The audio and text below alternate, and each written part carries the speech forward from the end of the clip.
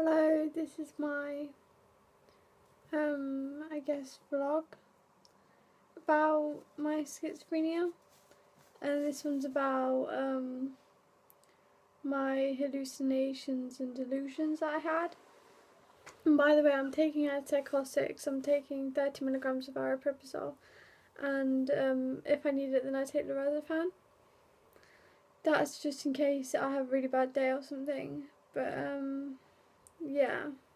So, basically, I've been having these hallucinations since about four years ago. So that's 2000, 2000 12 2000 yeah 2012 so since I was 12 um and basically I used to see figures behind people like black dark shadowy figures um like a void of color and light um and I would hear voices telling, like, basically narrating what I was doing. It would sound like a cafe, a cafe full of people.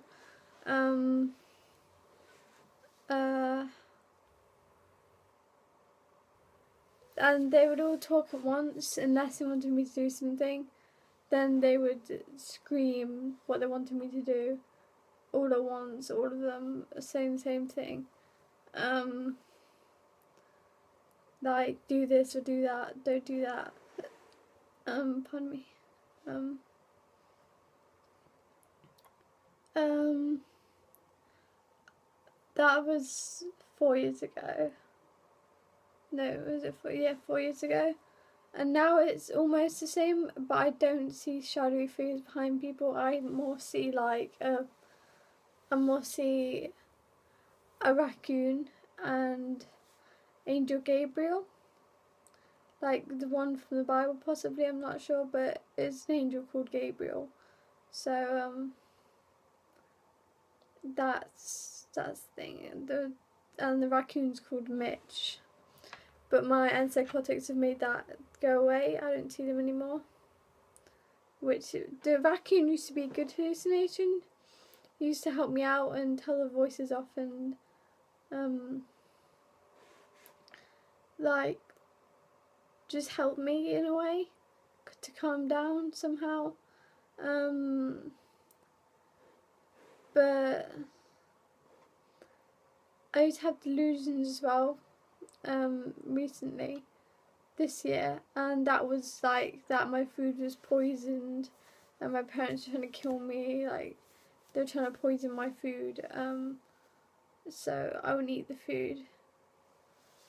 Um, but my eating hasn't been that good anyway. I'm usually like, I pick and then sometimes I binge and I eat a lot of food and then, and then I just go back to picking again. Um, so that varies a lot anyway. Um, what else?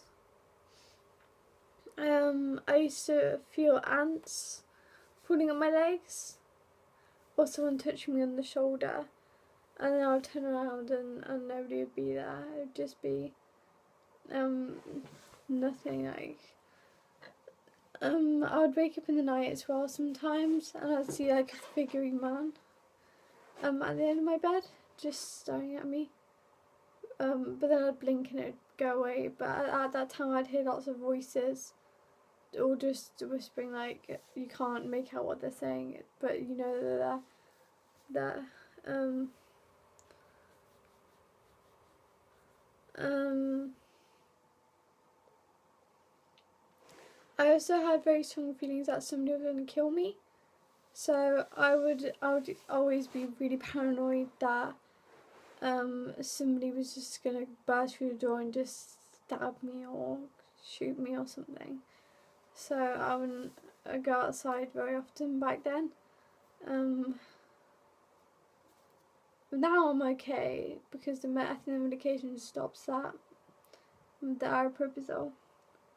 I'm 16, so I can't really I don't have that many options available when it comes to antipsychotics because most of them need to be over 18, I think, or over 16. I'm not sure. But some of them are an exception to me because my schizophrenia is quite bad and when I get in psychosis, it's really, um, I can't control it. I'm disconnected from reality. There's nothing I can really do.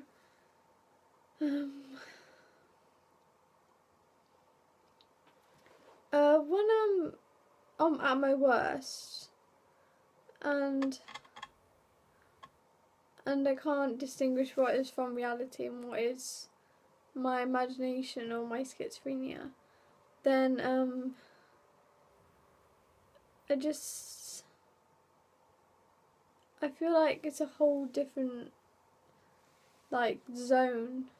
I feel like I'm in a whole different universe. Like I'm just out of it completely. Sometimes I can't even remember what happens. It gets that bad sometimes. Um, but um, most of the time it's just pacing around, um, talking to myself, or not to myself, to the voices, but obviously it must sound like me talking to myself. Um, and um, me like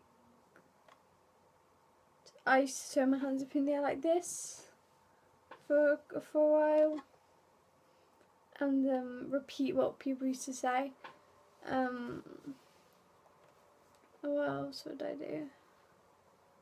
Um, when I because I've been in a mental health hospital twice, the same one twice. It's a adolescent unit. I used to um, my worst symptoms were then.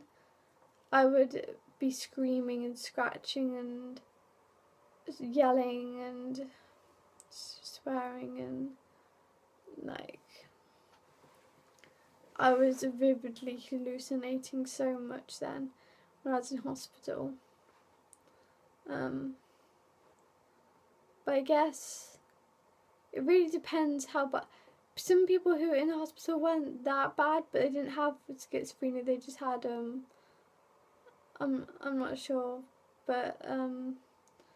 I was definitely one of the worst, not the one of the worst, but at that time, I was not a very good patient. I was punching the staff, hitting the staff. I was very violent because I was scared and I was doing what the voices were telling me to do.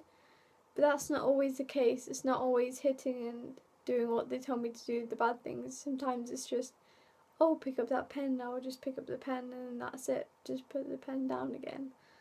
Um, Uh, sometimes the voices narrate what I do, so it's like, oh, now she's talking to him, and now she's walking and looking around to her left, to her right, um, and they just narrate what I do. Um, but about my hallucinations and delusions, um, I used to hallucinate also rats on the ground or on the ceiling mostly they're on the walls and the ceiling um, and they were like talking to me like oh you're worthless like you know you don't you don't need to do anything like that or um uh, things like that but the voices have never been positive to me they've always been negative voices so they're always like, "Oh, you're worthless. Oh, you're um, you should." Uh, when it's really bad, they tell me to kill myself.